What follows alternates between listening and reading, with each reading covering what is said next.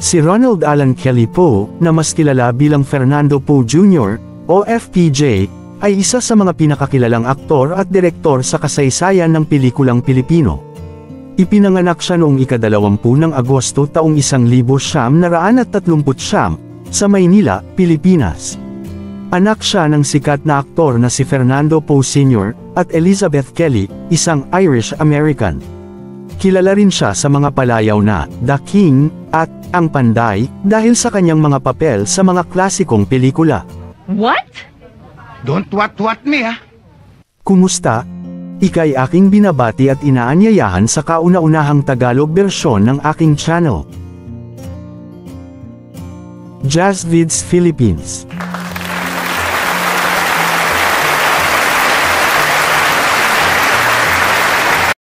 Here we go again. Uh, stop! Look and listen. I go here to make arreglo. Masyado kang mataray. You talking plenty. Kabago-bago mo rito, kala mo kung sino ka. You, you're a hoodlum.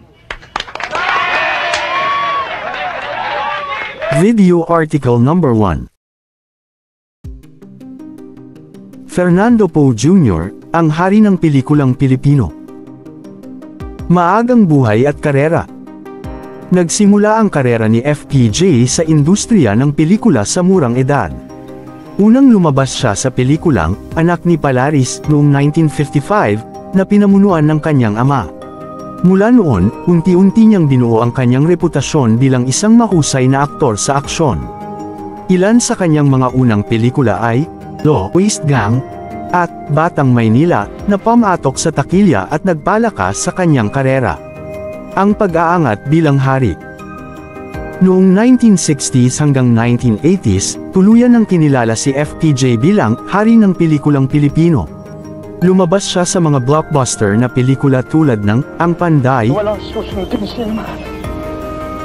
Pagkat ang nagbigay buhay at tibay sa kansang ginamit.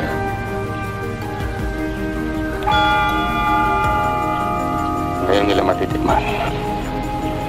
Ang sakit na pinadanas nila sa mga sawing palad na kasama natin. Asedilyo, Ang dugo. Kung ano man ang iniisip mong gawin, ay pag-isipan ng mabuti. Mahirap kalabanin si Presidente. Nung bata pa ako, sinabi sa akin ng aking ama, Nawahalin ko ang aking karangal na higit sa aking buhay. Abel, tignan mo akong mabuti. Ang tao na nakikita mo ngayon ay patay na. Agila, at Batas ng Lansangan.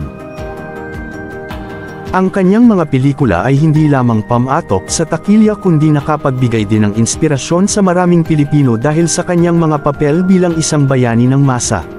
Bukod sa pagiging aktor, si FPJ ay naging direktor din sa ilalim ng pangalang Ron Waldo Reyes. Pinamunuan niya ang ilang sa kanyang mga pelikula, na nagpapakita ng kanyang galing hindi lamang sa pag-arte kundi pati na rin sa likod ng kamera. Ang pagsabak sa politika. Noong 2004, sumabak si FPJ sa politika at tumakbo bilang Pangulo ng Pilipinas. Bagaman natalo siya kay Gloria Macapagal Arroyo, ang kanyang kampanya ay nagpakita ng malawak na suporta mula sa masa.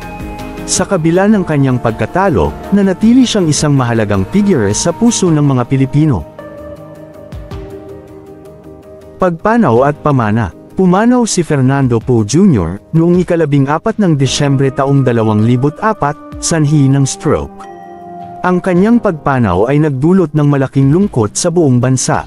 Bilang pagpupugay sa kanyang kontribusyon sa sining, pinarangalan siya bilang pambansang alagad ng sining para sa pelikula noong 2006. Hanggang sa kasalukuyan, patuloy na kinikilala at ipinagdiriwang ang kanyang mga kontribusyon sa industriya ng pelikulang Pilipino. Ang kanyang mga pelikula ay patuloy na pinapanood at tinatangkilik ng mga bagong henerasyon. Si Fernando Poe Jr. ay tunay na isang alamat na nag-iwan ng hindi mapapantayang pamana sa sining at kultura ng Pilipinas. Si Fernando Poe Jr. ay hindi lamang isang aktor kundi isang simbolo ng katapangan, kagitingan, at pagmamahal sa bayan. Ang kanyang buhay at karera ay isang inspirasyon sa lahat ng Pilipino, na nagpaalala na sa kabila ng hirap at pagsubok, ang bawat isa ay maaaring maging bayani sa kanyang sariling paraan. Nakaabot ka sa huling bahagi ng video article na ito. Salamat! Huwag kakalimutang mag-like, subscribe, at pindutin ang notification bell sa akin para sa nga susunod na video article. Here we go again. Stop! Look and listen. I go here to make arreglo. Masyado kang mataray. You talking plenty. Kabago-bago mo rito, kala mo kung sino ka. You, you're a hoodlum.